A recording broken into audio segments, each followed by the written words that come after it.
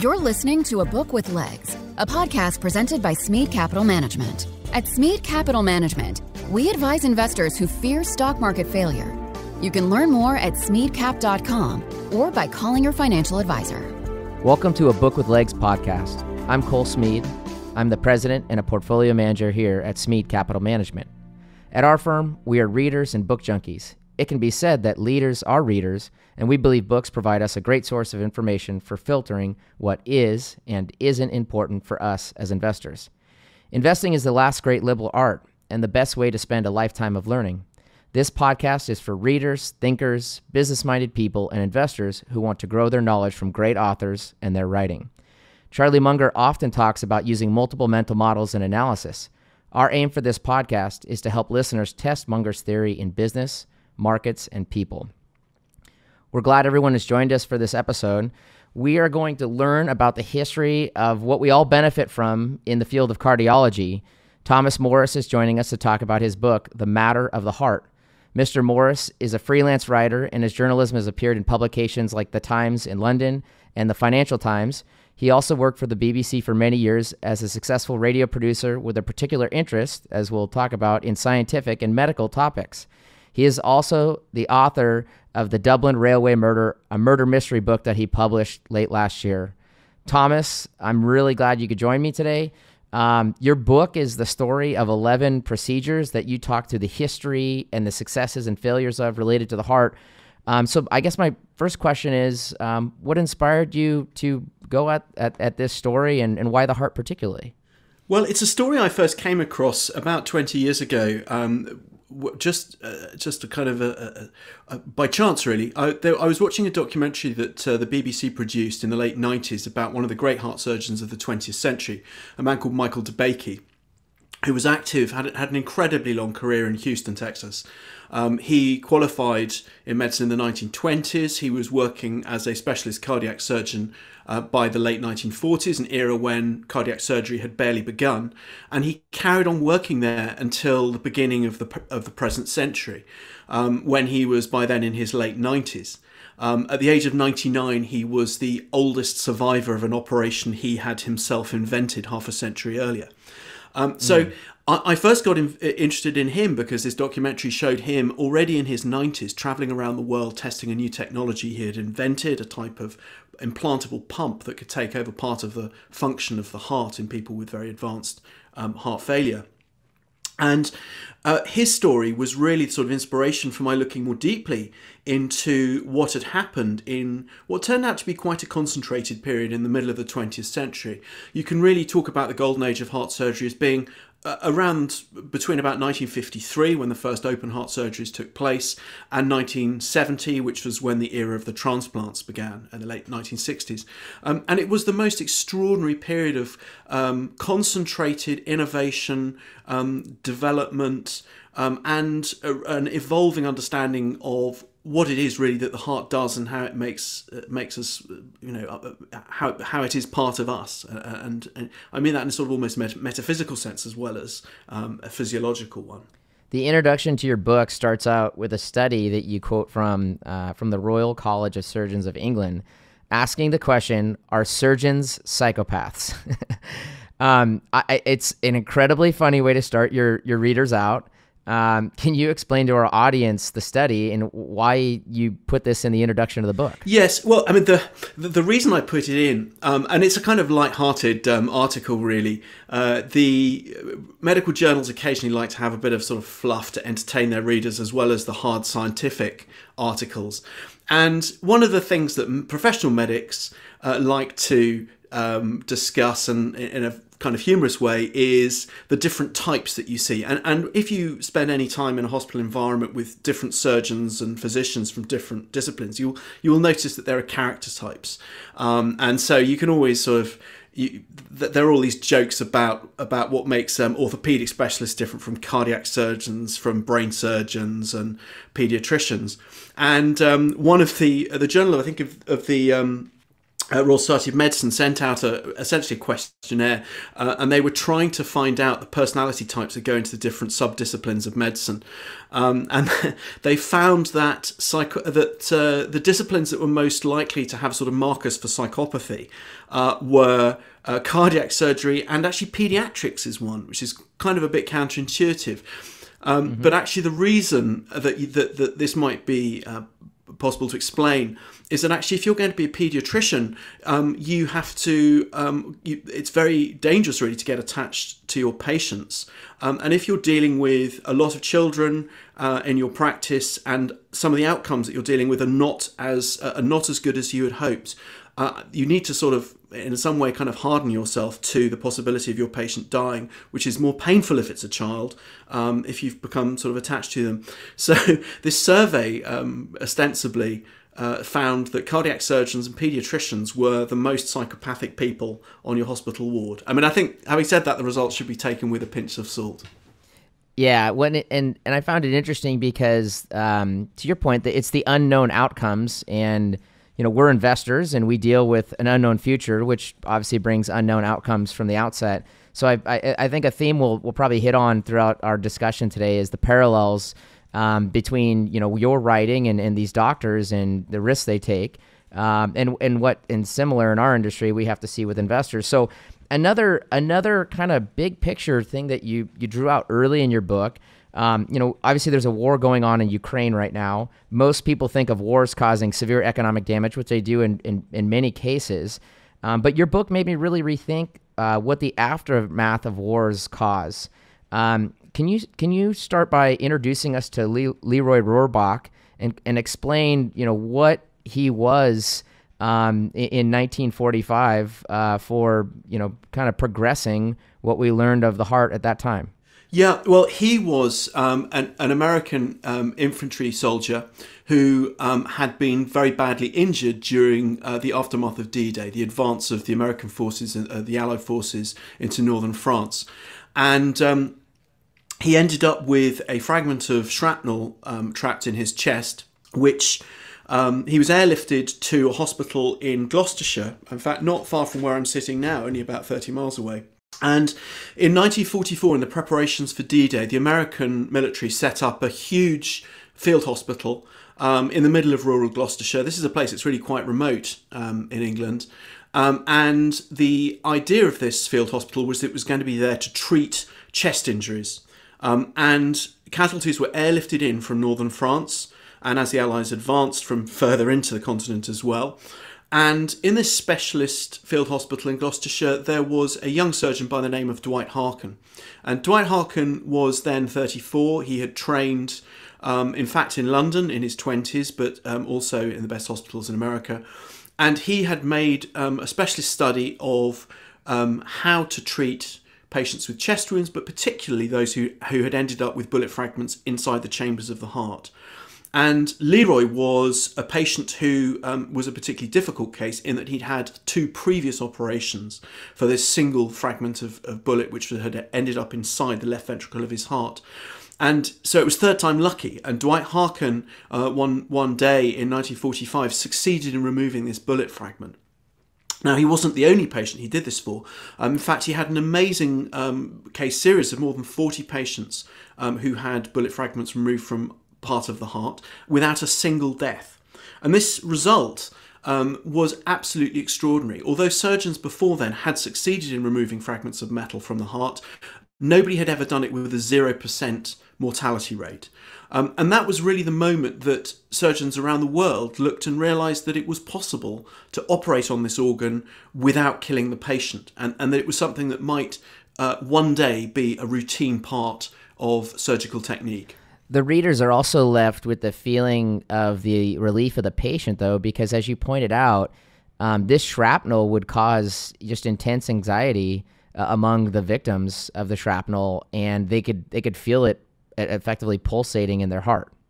Is that fair? Yeah, I mean, w- one of the things that's rather interesting about this is that it is actually perfectly possible, uh, in some cases, to live for quite a long time with um, a, a, shrapnel fragment embedded in the heart or even sitting sort of loose inside the cardiac chambers.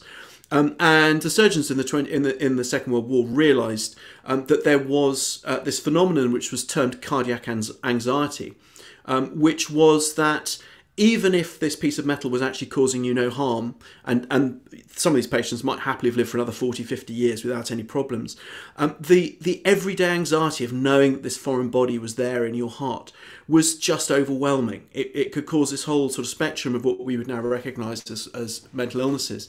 Um, uh, but a, a patient like Leroy Rohrbach, who, who knew that this thing was there, even though he was told it probably wouldn't harm him, he wanted it taken out just because the just the overwhelming anxiety of knowing this thing was there was too much to bear. Now, blood bags had not been invented yet, as you pointed out in your book. So this was, I mean, in, in comparison to what we have today, if we were going into a surgery like this, um, this was crude what was used in lieu of the blood bags that we'd see in hospitals today? Yes, I mean, the, the conditions were very primitive in lots of ways. These operations were not taking place in a conventional operating room, uh, they were taking place in a Quonset hut, which was a, a fabricated um, corrugated iron structure in a field, uh, which had to be heated by a stove in the winter because it was so poorly insulated.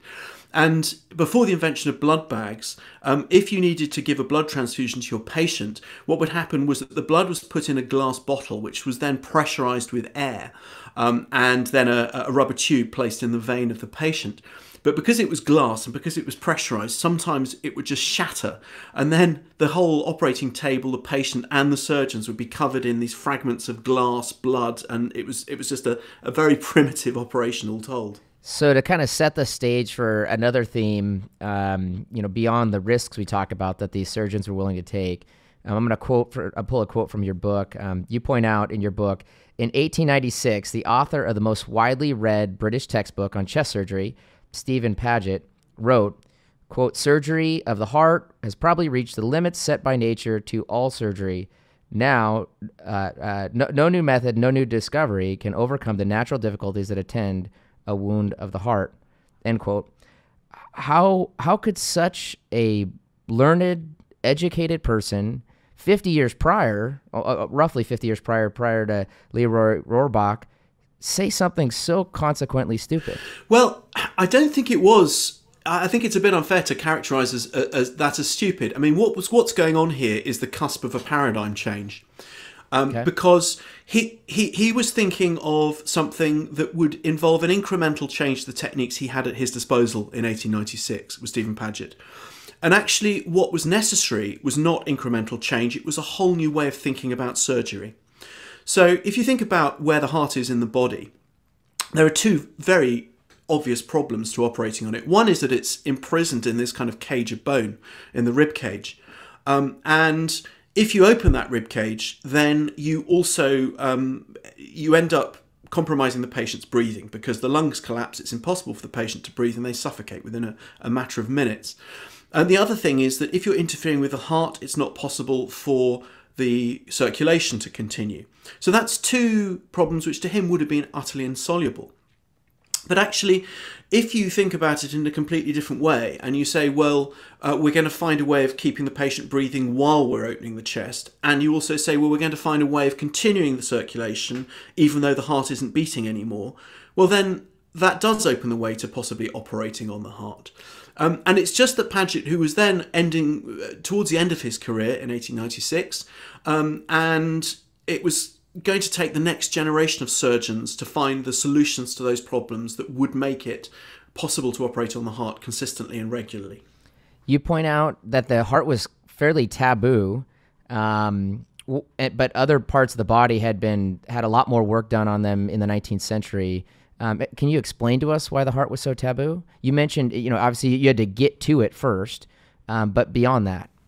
Yes, I mean for the reasons I just mentioned, that, that, that, there are two aspects. to This really, there's the surgical taboo element, and then there's the kind of cultural taboo.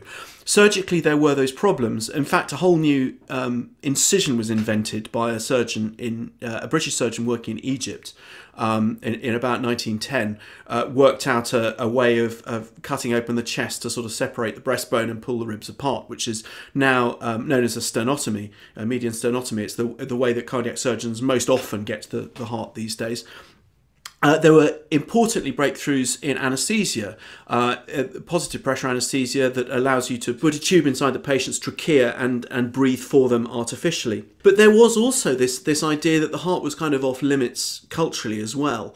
Um, in that it's this it's the organ that kind of keeps moving day and night, um, and it just seems that um, if you interfere with the operation of that, you're interfering with the life of the patient as well. Um, there was actually for quite a long time until the until the early 1890s, when a series of um, experiments by German physiologists proved otherwise. There was a thought that even if you even touched the heart, it was it was probably you were going to stop it beating, and it was only when um, experimenters had had uh, conducted experiments on stitching the hearts in animals, dogs, um, and rabbits, that they realised that actually it was quite um, um, it, it, was an organ that, that was that was quite robust. That it didn't matter if you handled it, even you could insert a stitch in it. Um, without it um, giving up the ghost, as it were. So it was only when those experiments kind of fed into um, changing how we see the heart culturally that surgeons lost some of their concerns about operating on it to follow on that idea of the heart being more dynamic and being able to take trauma, um, we did have evidence from history, as you point out, and I, I think this is your your book is obviously a, you know in some respects it's a medical book, um, in other respects it's a historical book. Uh, you just have great. Uh, backstories, um, and the one I one of the I pulled was you talked about Galen in the first century A.D., um, who was uh, doing, you know, he, he was dealing with the gladiators coming back uh, from Pergamon, um, can can you teach us about what Galen learned about the attributes of the heart then? Yes. Well, Galen was um, uh, Galen noticed that um, the two sides of the heart were different. Now, today we think of these as the, we know that the heart is a, a, a, an organ of four chambers. It has two atria and two uh, ventricles, and the left side and the right side perform different functions. And one of the things that Galen noticed in his treatment of the gladiators was that a gladiator who was stabbed in the right side of the heart um, died more slowly, and in some rare cases even could survive. But when they were stabbed in the left side of the heart, and that's the side of the heart that deals with blood at higher pressure, that's pumping blood to the whole of the body rather than just the lungs as the right side of the heart does, he noticed that, that they tended to die quickly or even instantaneously. So he had some idea that the two sides of the heart were different from each other. He also had uh, many misconceptions about the role of the heart. He had no conception, of course, that there was a blood circulation. He thought that it was sort of pumped inwards and out, it, that blood uh, came in and out like sort of water um, in, like the like the sea, waves of the sea. Um, he also believed that there were pores um, which allowed blood to pass from one side of the heart to the other. We now know that that's not the case. That wasn't disproved until, in fact, by a couple of Arabic thinkers of the um, in in the early medieval period.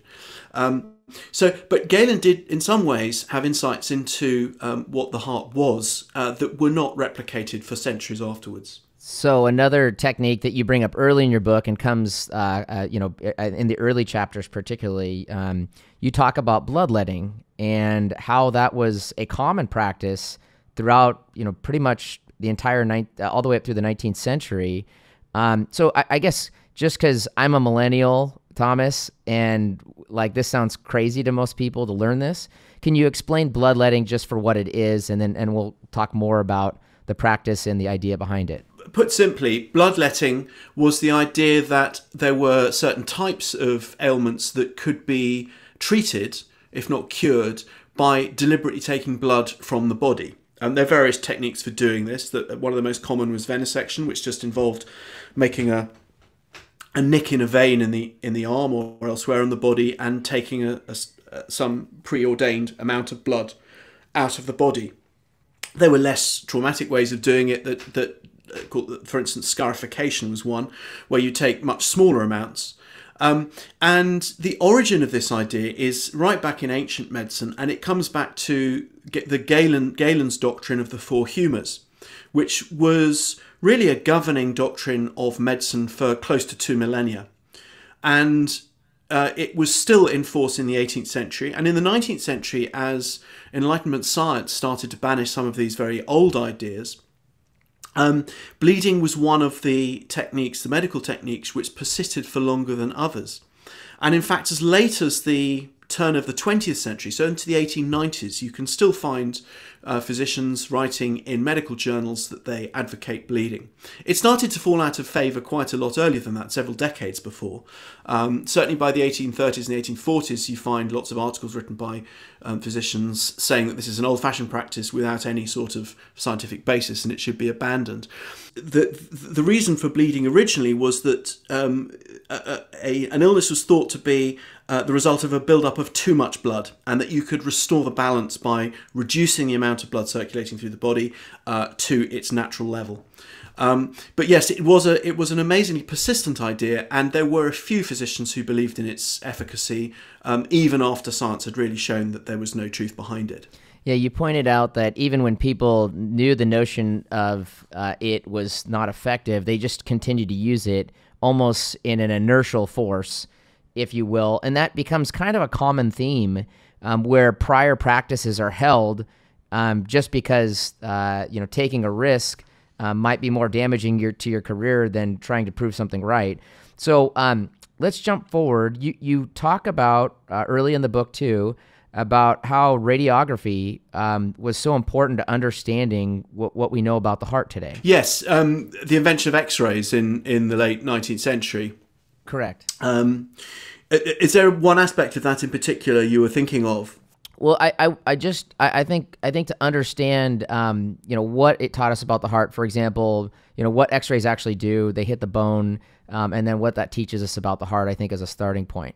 X-rays are uh, mainly a method of, of looking at um, hard tissues, uh, uh, uh visualized particularly clearly. So bones are the first structures that were visualized on X-rays. In fact, the one of the earliest surviving X-rays, um, Wilhelm Röntgen, who who first discovered X-rays, took an X-ray of his wife's hand, which shows her, the bones of her hand and the ring on her finger um, very clearly. But it wasn't until the 1920s um, when uh, a man called Werner Forssmann, who's a, a young German doctor, inserted a um, catheter into his own heart, having inserted it into uh, the inside of his own elbow, and then went downstairs, four flights of stairs, to get himself x rayed to show that he'd actually succeeded in getting this catheter all the way up through a vein in his arm and into the cardiac chambers.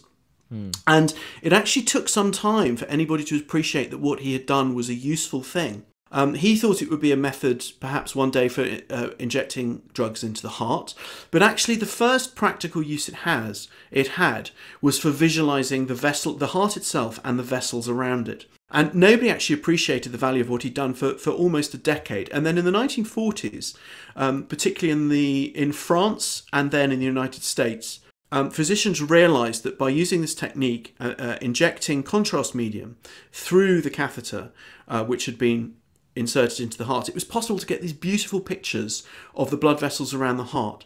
And it took, uh, I mean, half a dozen great innovators and probably three decades.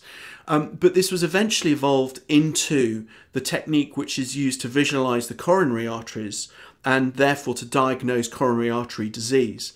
Uh, and there was a very important radiographer called Mason Sones, a cardiologist called Mason, Mason Sones, who developed this technique. And coming out of that came the entire surgical technique of, of coronary artery um, grafting, uh, the bypass surgery, um, which was pioneered by Rene Favaloro in the late 1960s at the Cleveland Clinic. So that's an interesting example, I think, of one technology, the invention of X rays, translating over the course of several decades, close to a century actually, um, from a very simple technique for visualizing blood vessels into eventually a very sophisticated surgical technique you teach your readers about uh, what Alfred Blalock uh, sought to do uh, to heal blue babies. Um, could you teach our listeners about cyanosis and, and what Blalock was trying to accomplish? Yes, this was in a sense the the very first um, useful heart surgery for congenital conditions. The problem that they were looking at um, was that Alfred Blalock uh, was trying to solve was a congenital condition called um, tetralogy of Fallot. And um, of Fallot is a congenital condition in which the, the heart has um, four separate uh, deformities. And cyanosis is, is one of the symptoms. Cyanosis is um, a blue tinge to the, the, to the, to the body. Um, it, it, it, literally means a blueness. Uh, and the reason for the blueness of the skin and um, other tissues in this condition is that the blood is not being properly properly oxygenated.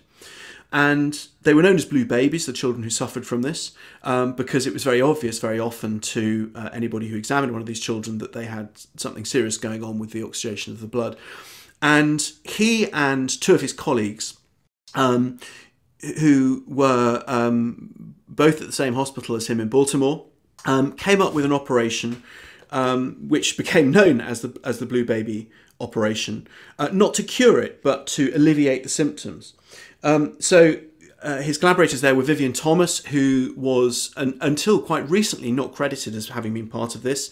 He was a an African American technician who worked in the lab. It was really only economic circumstances that meant that he was not able, firstly, to study uh, to qualify as a doctor in his own right, um, and and secondly, to take any credit for this amazing developmental work he'd done in the laboratory.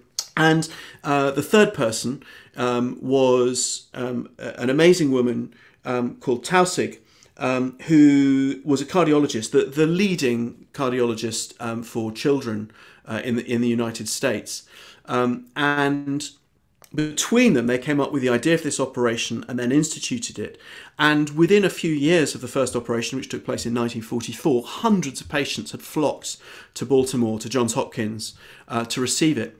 Um, it was an absolute sensation, and it really is the beginning of um, cardiac surgery for con- uh, congenital cardiac surgery, which has become an enormous field now. I found this story really interesting because, to your point, the two colleagues assisting Blalock were utter outsiders. I, I think you point out that Taussig um, is blind, uh, and so she had taught herself uh, ways around her blindness. And as you pointed out, um, their other colleague was an African American, uh, untrained, you know, relative to the medical field. Uh, I must uh, just correct that. Helen Taussig was actually profoundly deaf. She'd had, oh, deaf, um, she'd had yeah, a child, yeah, she'd, she'd had a childhood infection which had, which had left her quite deaf. Um, yeah, so she had she had worked out a method of um, because she had a um, she had a stethoscope which was apparently amplified, an early amplified mm-hmm. stethoscope, but she had actually taught herself to diagnose different types of heart murmur using her hands. Yeah, to have these people with such outside uh, conditions. You know, when I say conditions, in other words, one is the oppression of a person learning, and the other is the inability uh, to hear, and yet they overcame what were incredible um, odds against themselves personally. And I thought was just you know to see um, Blalock taking these risks, and then you point out in the story that like William Long- Longmire, who is a protege and a colleague of his, thought they were doing something incredibly dangerous for these babies. Yes, and it was a controversial operation, there's no doubt about it. The original anesthesiologist who was meant to be taking part in the first Blue Baby operation declined to take part. He thought it was it was inevitable that the child would be killed by the operation. Um, it was um, it was incredibly dangerous, um, and it was also it, uh, it, there's no way that, for instance, this would get past an ethics committee today. Um, mm-hmm. The uh, Blalock, who took the lead in the operation, had never performed it before. He had practiced it once in the animal laboratory. Uh, Vivian okay. Thomas, who had invented the operation and, and derived all the techniques, um, he had done all the preliminary work. He had performed the operation many times. He actually stood in the operating theatre, although he wasn't qualified uh, as a doctor or a surgeon. He stood in the operating operating room behind Alfred Blalock, supervising and giving him advice. Um, and, and Helen Taussig stood at, at, the head of the, uh, at the, at the table as it all went on. But one of the things I, th- I think comes to the fore in this story of cardiac surgery again and again is that if you if you're not going to be the first person to try something, who is? And um, the the the way that risk is perceived um, in medicine has changed and has had to change. Um, mm-hmm. And a lot of these barriers have been broken now and do not have to be broken down ever again, thank goodness. But at the time, there was seen to be sort of no alternative to being the first person, to being the risk taker, and, and the one who was just going to give something a go, even if it had a fatal outcome. When I think there's an interesting um, kind of, I'll call it an ethical trade off that this story brings up, and it obviously recurs later in your book, um, which is that these babies were dying young. I mean, they were living miserable quality of life, very short. And so, to your point, the risk became a question of do we try to take a risk that elongates life and creates more quality of life, but risks immediate death? and that becomes, I think, what is a common theme across the rest of the chapters of your book. Yes, and, and the reason that I the, the reason the reason I would say that um, a lot has changed and it was justifiable then and it isn't justifiable now is that so much in medicine is better. And sure. uh, in in in that era there really was no alternative. You're faced with a patient who will die uh, unless something is done and they will probably die if an operation is attempted. But is is probably dying better than definitely dying? Well there are circumstances in which it can be. Now of course that dilemma doesn't really arise these days it, sure. at all, if ever, you know, it, it arises rarely, if ever. So thank goodness that's not the sort of dilemma that a surgeon has to face now, because there is there is almost always something that will prolong or improve life. Um, that that is, you know, that, that, that there is. It's not the case that there is only the only alternative is something very risky to follow on this ethical question, I, I, I, love thinking about this in today of the day we live. And to your point, so much has changed. Um, animals, as you pointed out uh, uh, just shortly ago, were the you know the learning ground for many of these procedures. Um, I'm going to quote from your book here. By the mid 1930s, surgeons in America and Europe were conducting hundreds of animal experiments in order to establish the likely difficulties of surgery on the heart and its major vessels. End quote. To the millennial or Gen Z person out there that reads about you know people using animals as the proving and testing ground for this um, and animal experiments, um, it's obviously not a perfect world, but the gain from human life has been far greater, some would argue. How do you look at even that debate of using animals relative to what we just talked about, where we're using live humans to learn about the quality of life and, and, and you know, elongating life? Well, I think the only way I can look at it really is as a troubling history. Sure. Um, I mean, I, am grateful that it's not the sort of choice we have to make today. Um, there is certainly no way that we would contemplate uh, the number of, uh, num- not just the number, but also the nature of the experiments that went on. Um, I mean, I it's difficult to read sometimes the accounts of um, the number of cats, for instance, that were used as experimental subjects during the development of the heart lung machine, a process which lasted almost 18 years. And they were regarded as just a sort of dispensable part of laboratory equipment in a way. I, I think they were I mean, I was about to say they were treated humanely. I, I don't think you could uh, really defend the way they were they were treated. Um, but um, it's it's part of surgical history that we just have to accept as having happened, sure. um, and be grateful that we don't have to do such a thing again.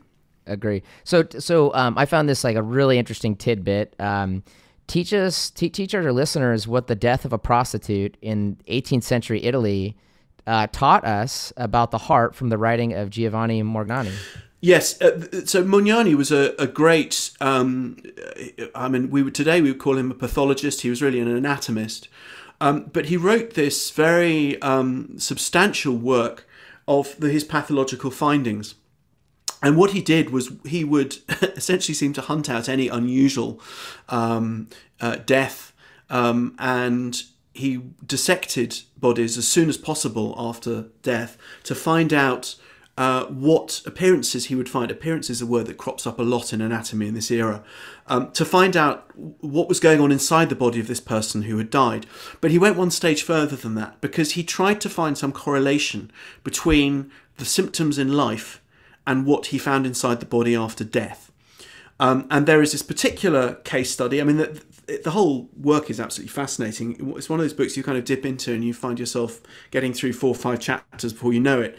Um, but this particular case um, is of a, a young woman who was a prostitute and she died of what turned out to be an aortic aneurysm. And he finds, um, when he dissects the body, um, that uh, he has this absolutely perfect description of what an aortic aneurysm looks like, um, and was able again to correlate the the appearances after death with the symptoms in life, um, which which is one of the reasons that later doctors knew um, how to recognise uh, an aortic aneurysm from the symptoms presented by the mm. patient.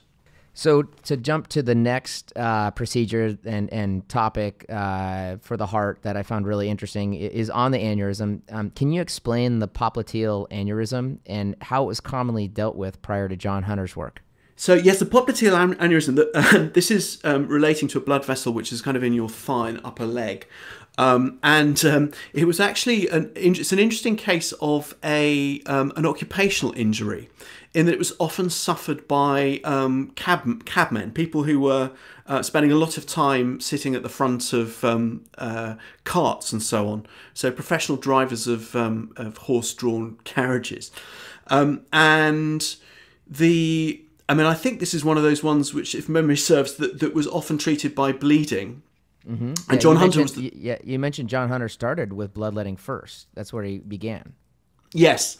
Um, and in fact, he ended up treating it with um, the first recorded operation. Um, in which he, uh, the, the, technical term is ligated, but basically tied a knot around um, the abdominal aorta, um, which is a sort of horrifying procedure in retrospect. This is the era before anaesthetics. We're talking about the late 18th, early 19th century. And he ended up tying a length of cotton tape around the abdominal aorta, which runs in parallel with the spine, on a patient who was not um, not anaesthetized. Um, so he had to make an incision in the front of the abdomen and then get his hands right to the back of the abdomen to tie this this cotton tape around it. And an interesting kind of side note to this is that uh, the patient made a sort of recovery at first, but sadly died shortly afterwards. And the section of the aorta with the cotton tape still tied around it is still in a museum in London, um, an, an, anatomical museum. Uh, the first case of a surgeon ever um, operating on the aorta of a, of a patient. Harris Shumacker improvised while dealing with an aneurysm in 1947, as you wrote in your work. Um, what did he do in comparison? And wasn't this um, the practicality that the field needed. Uh, yes. Um, well, he he was um, uh, he was uh, he was dealing with um, uh, an uh, um, a, a, different part of the aorta, which is uh, the thoracic aorta, which is right up, kind of under the under the rib cage. Um, and in, in, fact, I think he was. I think Harry Shumacker was dealing with um, a, a, condition called a coarctation, which is actually congenital, which is a narrowing of the of the aorta, which means that you end up with a much reduced blood flow um, to much of the body.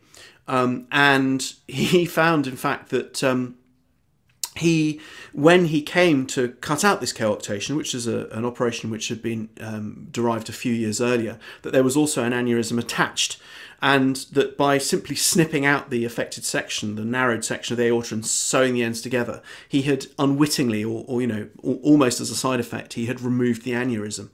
Um, so, I mean, yes, there is a lot of improvisation in the history of surgery and a lot of firsts where the surgeon perhaps wasn't aware what a breakthrough they were making until after it had been made.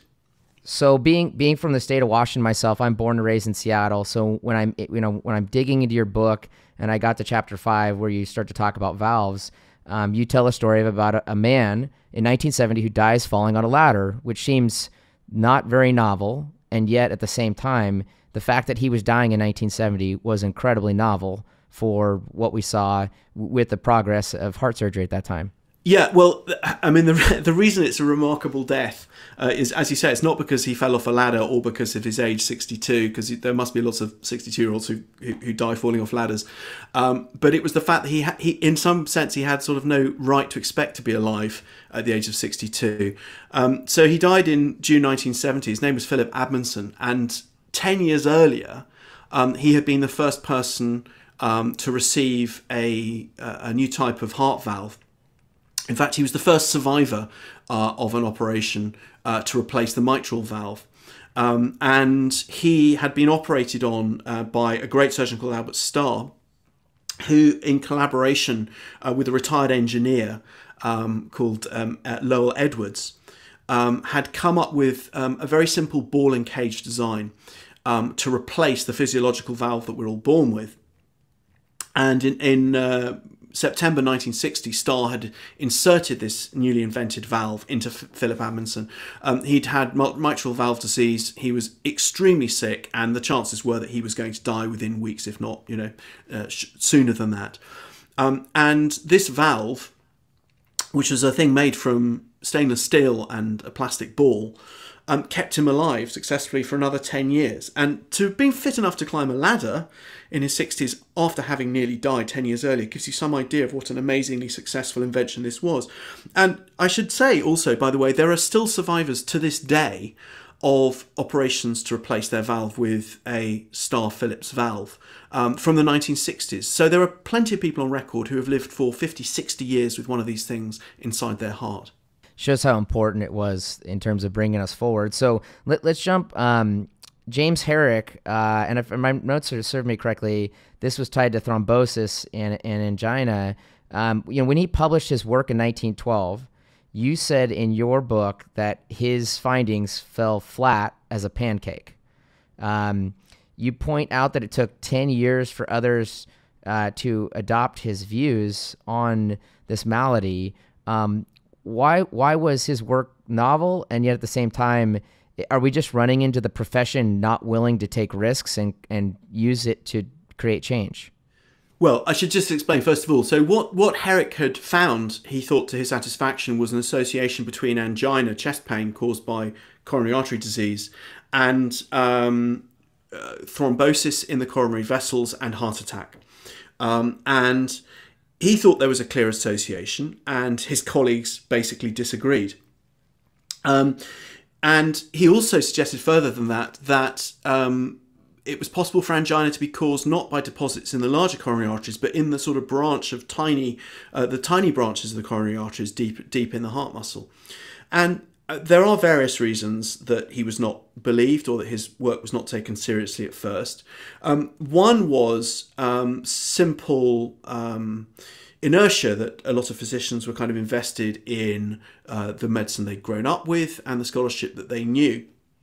But having said that, um, coronary artery disease is one of the most sort of deceptive conditions there is, uh, and even today you can see um, the, the, the methods of increasing um, uh, of improving angina are completely mysterious a lot of the time. So um, angina sometimes gets better or gets worse just by the act of sitting in a doctor's waiting room.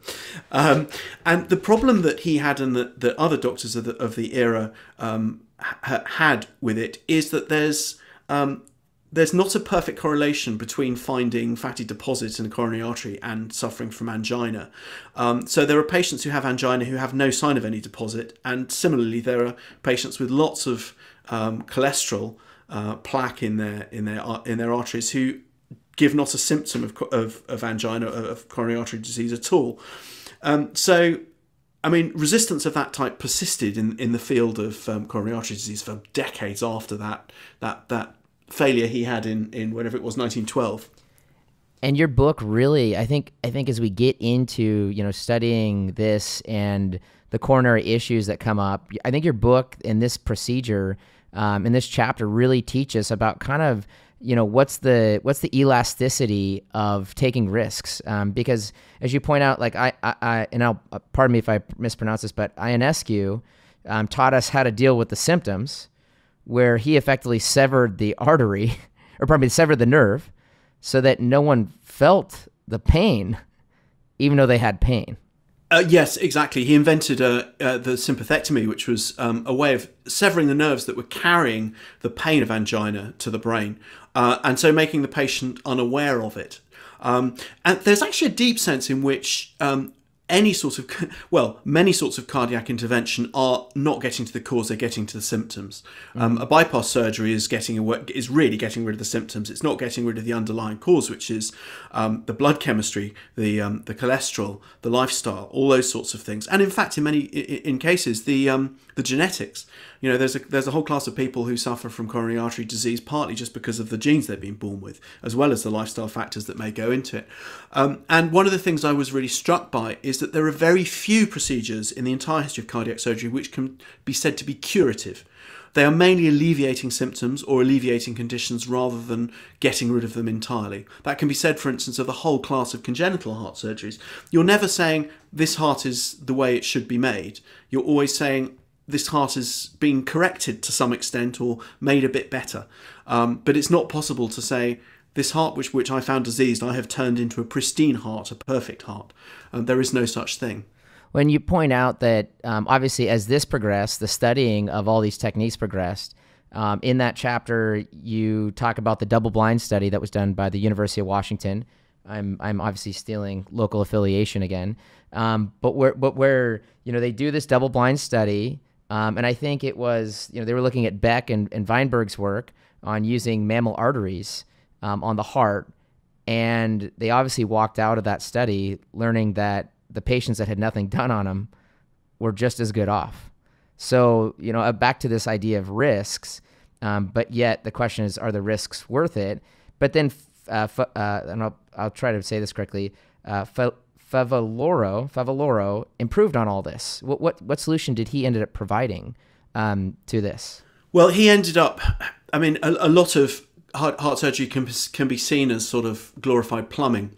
And his was a beautiful engineering solution to the problem of coronary artery disease. And the fundamental difficulty of, uh, of, uh, of coronary artery disease is a blockage. It's that the heart muscle is not receiving enough oxygen because it's not receiving enough blood. And that's happening because there is a blockage caused by plaque or clot. Um, uh, the plaque is a buildup of cholest- fatty cholesterol. And um, Favaloro's solution to that was well, let's bypass the blockage. Let's find a way of getting the blood to the the the, um, the further point um, of of the vessel um, and just bypassing the blockage. So he took a length of the saphenous vein, which is a vein in the leg, and he sewed one end of this to the aorta, the main blood vessel coming out of the heart, and the other end to a point in the coronary artery just beyond the blockage. And that meant that the tissue beyond the blockage was still perfused or would be perfused once more by oxygenated blood. The heart muscle would remain healthy um, and the patient's activity levels would be able to increase um, without any uh, adverse effects. And it's a massively, massively successful um, surgery. It was a massively successful procedure. He introduced it in 1967.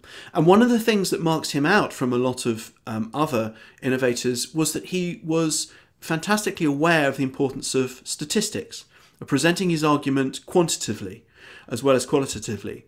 And he was absolutely fastidious in putting together his results, um, in analysing them statistically and then when he presented his results, there was a famous occasion when he came to a, um, a cardiology conference in London uh, in about 1970, and he presented his results, and the surgeons were absolutely in disbelief at what he claimed. And he was able to back up his claims because he had by then a case series of some three or four hundred patients. And he was able to show that the results were every bit as good as he had claimed in the headline to this presentation. Um, so uh, that's one of the reasons I think he's such an important surgeon, not merely because of the technique that he derived and improved, uh, but also because he was able to make his argument so powerfully through numbers. And as you point out, uh, bypasses became very prevalent because they were effective for at least stopping the blockage. And I think you mentioned that the most famous uh, quadruple bypass, uh, you know, up, up to a certain point was uh, the former president Bill Clinton in 04. Um, but you also present kind of an ethical question being asked by society, which is that these are so profitable.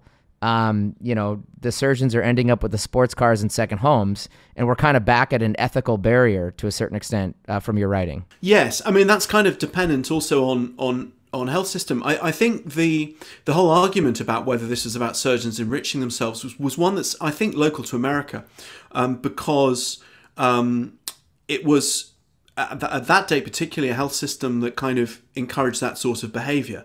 Um, now, in a kind of more socialised health system, that wasn't the case so much. Um, and it was possible eventually. There was a whole series of scientific peer reviewed papers uh, in the 70s and 80s that were trying to find out whether um, the bypass operation really was as good as it sounded uh, and as good as Favaloro had claimed. And actually, by then, there was a huge amount of data, not just from America, but from all over Europe as well, and, and from the Far East, um, which showed without any doubt that it was superior to doing nothing and superior to drugs. So that whole aspect of the argument went out of the window. But yes, there was certainly there was certainly a phase when, um, particularly surgeons who were outside the kind of main centres of surgical excellence, um, and I think the way uh, healthcare has been organised in the last 40 years has changed a lot as well. But you would find surgeons who were in smaller centres where they had rather small cardiac surgery experience were setting themselves up as um, coronary artery bypass specialists and doing a lot of operations, often with not very high standards, and actually getting quite rich as a result of it. So there was definitely a bit of a scandal going on in, in the medical world at that time. It was exposed by certain um, investigative journalists, um, but um, you know, in, in scientific terms, the truth will out eventually, um, and, and we now know that it is an excellent operation with excellent outcomes. In your chapter, One Life, Two Hearts, you introduce us all to the what I would kind of deem as the modern day rock star of heart procedures, um, Christian uh, Barnard. Um, can you can you uh, teach our listeners about who he was, why he was so novel, and why he became an icon of the era? Well, he was um, certainly a leading cardiac surgeon of the 1960s. Um, when he became the first person to perform a heart transplant in 1967, uh, there was general disbelief in the surgical world because he was not regarded as a transplant specialist. He had no particular track record, uh, certainly in transplant um, experiments, but also he had done very little transplant surgery of any type. He had, I think, performed kidney transplants on one patient before he attempted his fir- first heart transplant. He was a very brilliant heart surgeon who had studied with some of the best um, and greatest surgeons in America. Um, he had taken back with him, when he had finished studying in the States, the first heart lung machine in Africa, the whole of the African continent, which was presented to him by one of his professors as a gift.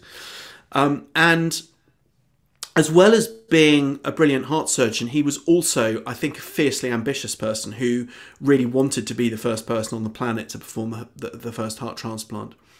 Um, but it came from left field. There was a great surgeon in, in the States called Norman Shumway, who, who was regarded by many as inevitably the first person to transplant a heart. It was a great surprise he was not the first person to do it. But Barnard was sort of the spirit of the age in as much as he was a very good looking guy in his 40s. Um, he loved fast cars and boats and uh, beautiful women. Um, and he was sort of photographed in the glossy glossy magazines having affairs with film stars and hanging out in nightclubs. Um, and he was for several years, I would say, pretty much the most famous person on the planet. He was sort of Elvis levels of famous. Mm-hmm. And I think it's interesting that this event, the first transplant, came around, came about two years before the land, the, the first moon landings. I, I think this is like, in some ways, the peak 1960s event. This, this is the spirit of the age. This is the sign that we are ent- entering a new sign of uh, a new age of modernity. Um, but he was he was the face, if you like, of the new heart surgery era. So then you point out that fewer than half of the 65 heart transplant patients um, were even alive 12 months later. Um, you know, Fav- Favaloro, he was using a lot of data to prove his point. But because of the brevity of this, we knew that there wasn't success in terms of duration, and we couldn't have a, a large amount of numbers. Did, did this just scream for more time and, and, and a lot more thinking? Yeah, it was very obvious that there was something very seriously wrong with the operation. Uh, within a, a, matter of two or three years, in the early 1970s, Time magazine uh, published a long investigative piece about the transplant, uh, the heart transplant era, uh, patients just weren't living for long enough. Uh, a few would get to, say, 100 days. Um, there were one or two who lived beyond a year. One of uh, Barnard's early patients did live for more than a year, but all too few did.